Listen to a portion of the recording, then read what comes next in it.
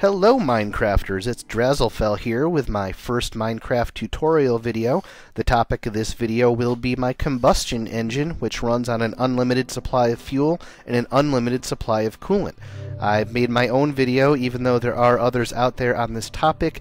Um, the reason is I wanted there to be a good tutorial video that didn't require an engineering degree to understand it. It does not try to cram all of the information into 30 seconds, and you don't have to wait till your kids go to bed to watch this because I promise I will not curse like a trucker. Um, this operation requires, well, I'm actually running on a Tekkit Lite server. Specifically, you'll need the Buildcraft mod and the Buildcraft Additional Pipes mod. I'm running on Tekkit Lite, Tekkit Lite 0.5.7 and Minecraft 1.4.7. Um, I'll tell you everything you need to know to run a combustion engine with unlimited fuel and coolant. I won't tell you anything you don't need to know. I'm not going to go over recipes in this video because that's information you can find just about anywhere. Anyway, uh, combustion engine is the most powerful of the three engines available with Buildcraft. It supplies energy to the other machines that are in Buildcraft. In this case, I'm using it to operate my quarry. This is my mining operation. It's kind of small, maybe a little pathetic compared to others, but um, it meets my needs and it makes me happy, so don't flame it or you will hurt my feelings and I won't let you watch the rest of this video. Um, this quarry runs off power supplied from my combustion engine. I'm not going to talk about the quarry because this is not a quarry video. However, the, the the combustion engine is supplying power to my quarry through this gold conductive pipe. The gold conductive pipe runs from the quarry all the way back to my engine. I'll go back here so you can actually check out my engine rig. You can see the gold conductive pipe comes down and it goes into the top of my combustion engine and it is attached to the combustion engine with a wooden conductive pipe. For some reason in Buildcraft, uh, most machines or most um, devices that have an output, you have to start it off with a wooden pipe. Um, I don't know the reason for that, but that's the way it is. You can see my combustion engine is running to supply power to my quarry. In order to run, a combustion engine needs three things. I'm going to right click on the engine and show you those three things. On the left, you can see the first of the three things it needs is fuel, which is represented by this full tank of lava. Lava is actually the least efficient of the three fuel types. Uh, you get something like 8,000 ticks per bucket of lava. Um, I read that somewhere. You can also use oil or all the way up to refined fuel, which gives you something like 100,000 ticks per bucket. I'm using lava because I can get it in an unlimited supply, and it's uh, it's much easier to find and create than uh, than the refined fuel. A combustion engine also needs a coolant. Over here you can see that I have it filled with seawater. Very important, if your combustion engine runs out of coolant and keeps running, it will overheat and explode, and whatever your operation may be will turn into a crater. Finally, the third thing you need is a redstone power source. In this case, I just use a simple lever. I can switch it on and off um, to turn on or off my combustion engine. So, let's get to the main show, my unlimited supply of fuel and my unlimited supply of coolant.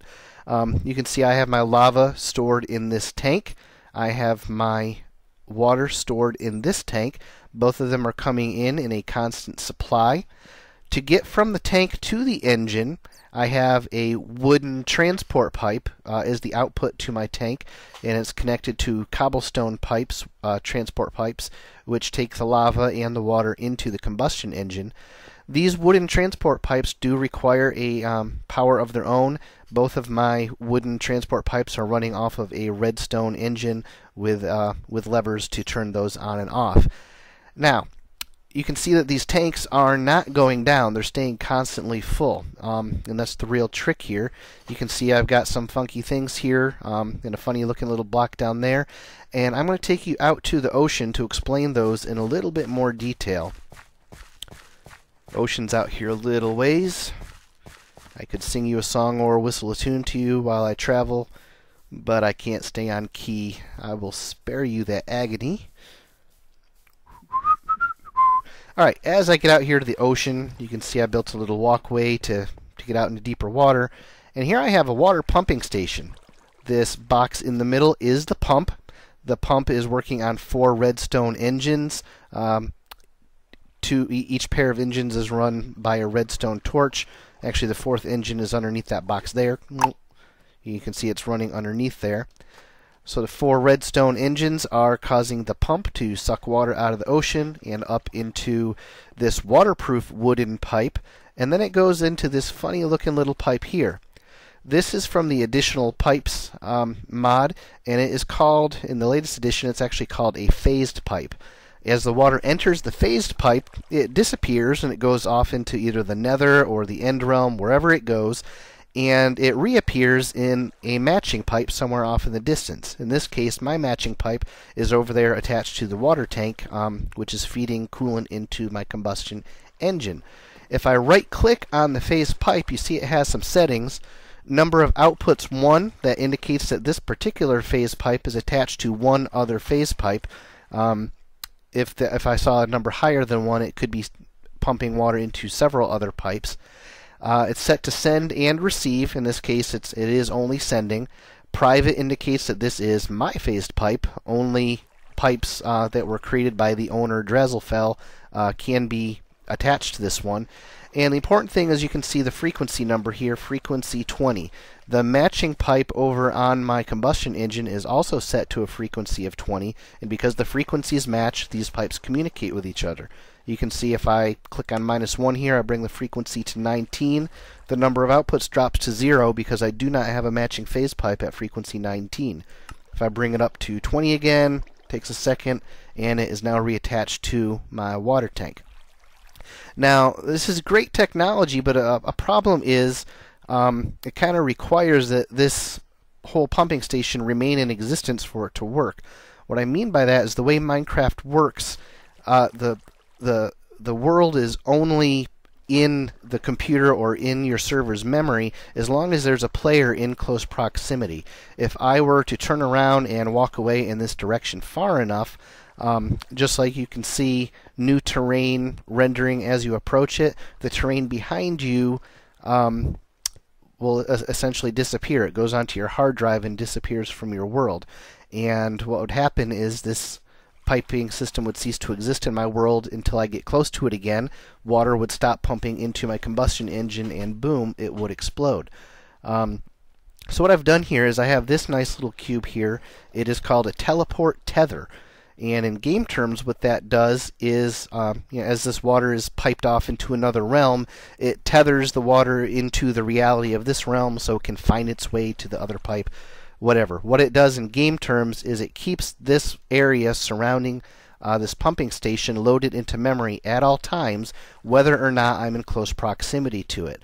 Um, the the actual the game term is called chunks. Uh, it keeps the chunks surrounding this pipe uh, this pumping system loaded in memory. If I hit F6, you can see the chunk lines. Um, you can see that this whole area will stay in memory whether or not I'm nearby or whether or not I'm even logged into the server. So uh, it's kind of cool the way that thing works. Hold on a second, it's getting dark.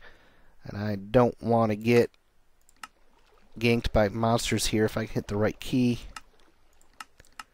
Don't let my wife know that I cheated to make this video. Oh look, it's daytime again. Okay, so, water station, pumping water, Enderman, don't look at him. I'll run back here to my combustion engine, show you the other half of things.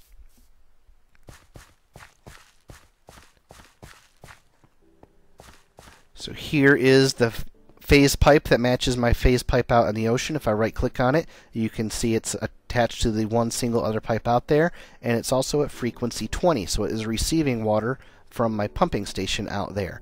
Uh, here is the um, the teleport tether that takes care of actually both of these phase pipes. If I let you take a look at the chunk lines, you can see that both phase pipes are contained within the same chunk. Uh, so this chunk stays in memory because of that one teleport tether. Now, where do I get my unlimited supply of lava? I have a phase pipe here set to frequency 10. That means there's another phase pipe out there. You can see the number of outputs is 1, also set to frequency 10, that is supplying me with lava. I will take you to see that real quick before my time runs out on this video. I'm not using a paid version of Fraps or anything like that, so I get 10 minutes. Figures, just as I said that, my 10 minutes ran out, so starting a fresh file here. I'll, I'll do some splicing here when I'm done. Alright, coming to my portal room, and here I have a, a portal to the nether. If you've never been to the nether, it requires you to build a portal uh, out of obsidian. It has to be at least 4 wide by 5 tall, and then you ignite this middle part using a flint and steel. Boom, nether portal. Need to step into the purple glow for a total of 4 seconds in survival mode. And I teleport into the nether. This is my nether realm protection shack. This is a dangerous place, so I built a protective shack around it. I come out here into the nether, and oh look, a lava lake. An unlimited supply of fuel! And out there on the lava lake, you can see I have a structure. Oh, hey. Hello, zombie pigman. Die. Told you it's a dangerous place. I have a structure out here encased in cobblestone because ghasts like to throw fireballs at me when I'm out here, and I don't know if pumping stations are fireball proof. If I break this block away, you can see here's my pumping station. It's identical to the one I showed you out on the ocean. Here is my phase pipe at frequency 10, which matches the one on my lava tank. So this is the pipe that's pumping lava into my lava tanks and providing an unlimited fuel source for my combustion engine. And that's about it. I am going to get out of here. So I'm not very well protected. Forgot to put on my good armor before I came out here. Anyway, I hope this video was informative. If you like it, give it a thumbs up. I'd say subscribe, but I can't promise I'm going to do any more videos. Um, just felt like I wanted to do this one, and it was kind of fun. I enjoyed it. Hope you guys did too. Good night.